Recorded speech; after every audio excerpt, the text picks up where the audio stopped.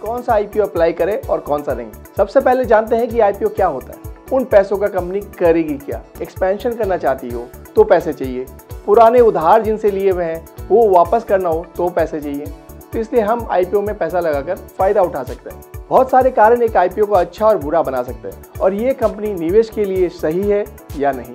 एक सही management team एक नॉर्मल बिज़नेस को भी ऊंचाइयों पर लेके जा सकता है। उस कंपनी के बारे में आपको पूरी जानकारी होनी चाहिए।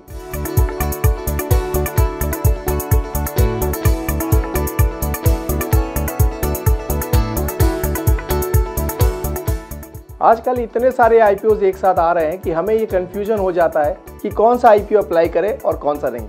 और कभी कभी तो एक ही डेट में दो तीन आईपीओ एक साथ आ जाते हैं। एक इन्वेस्टर के लिए लिमिटेड पैसों के साथ बेस्ट आईपीओ चुनना मुश्किल हो जाता है। करना क्या है? थोड़ी मेहनत। इससे हमें मिल सकती है अच्छे रिटर्न्स और सेफ्टी भी। इस वीडियो में हम एकदम बेसिक वे में आईपीओ को समझेंगे और किस तरह मैं आईपीओ एनालिसिस करता हूँ। इस वीडियो में मैं आपके साथ शेयर करूँगा। हेलो एंड नमस्कार, मैं हूँ अमित राठी, आपका अपना सर्टिफाइड फाइनेंशियल प्लानर सबसे पहले जानते हैं कि आईपीओ क्या होता है।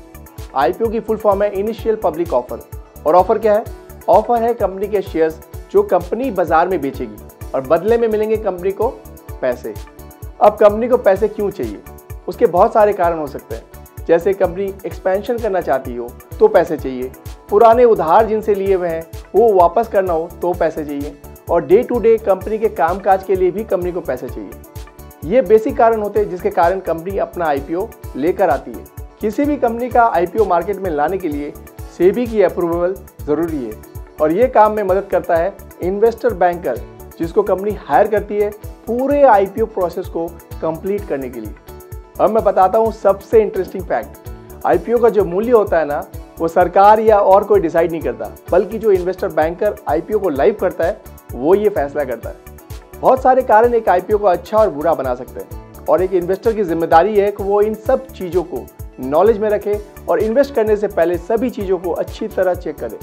सबसे पहला स्टेप है कि आप जिस कंपनी के आईपीओ में अपना पैसा लगाएँगे, उस कंपनी के बारे में आपको पूरी जानकारी होनी चाहिए और ये जानकारी आपको मिलेगी कंपनी के DRHP में। DRHP की फुल फॉर्म है ड्राफ्ट रेड हियरिंग प्रोस्पेक्टस जो कि हर आईपीओ वाली कंपनी तैयार करके सबमिट करती है सेबी के पास। ये आपको बीएससी और एनएससी साइट पे मिल जाएगी। इस डॉक्यूमेंट में कंपनी के फाइनेंशियल्स प्रोमोटर्स एंड ऑपरेशंस के बारे में सभी डिटेल्स होते हैं। इससे आप चेक कर सकते हैं कि कंपनी की प्रॉफिट्स कैसे हैं, उसके सेल्स ट्रेंड क्या है कंपनी का विजन क्या है, और ये जो पैसे बाज़ार से आईपीओ के ज़रिए उठाएगी, उन पैसों का कंपनी करेगी क्या।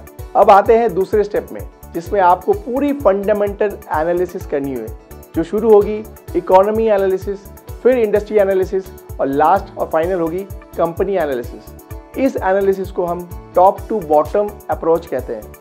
पहले इकोनॉमी फिर इंडस्ट्री और फिर कंपनी राइट तो पहले इकोनॉमी एनालिसिस तो इकोनॉमी एनालिसिस शुरू होती है इंडिया की ओवरऑल इकोनॉमी प्रोजेक्शंस की एनालाइज करने से।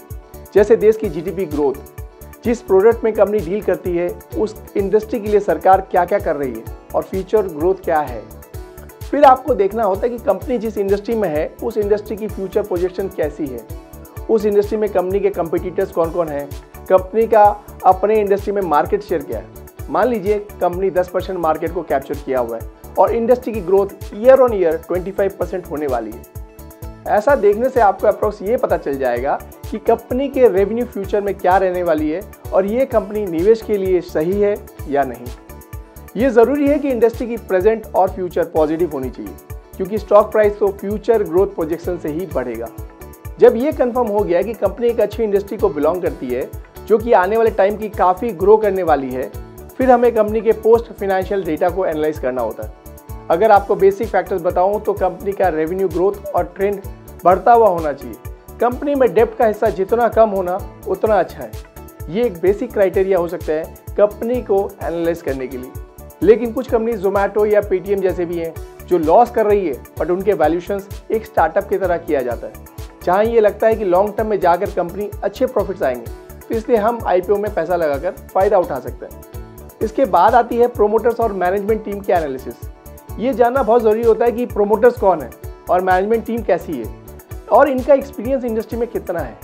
एक सही मैनेजमेंट टीम एक नॉर्मल बिज़नेस को भी ऊंचाइयों पर लेके जा सकता है और गलत मैनेजमेंट एक अच्छी कंपनी के प्रोस्पेक्टस खराब कर सकती है। इसलिए मैनेजमेंट चेक करना बहुत ज़रूरी है। फिर बारी आती है कंपनी के फंड्स के यूटिलाइज करने के प्लान को।